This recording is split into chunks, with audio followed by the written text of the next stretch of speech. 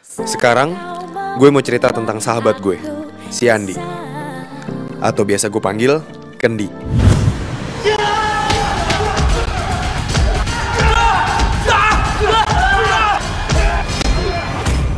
Eits, bentar-bentar.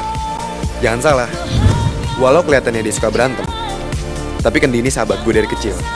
Orangnya asik, setia kawan, dan bisa ngebikin situasi seserius apa pun jadi kocak. Tapi kalau soal berantem, jangan tanya. Dia satu-satunya orang yang bisa ngimbangin gue kalau lagi tanding.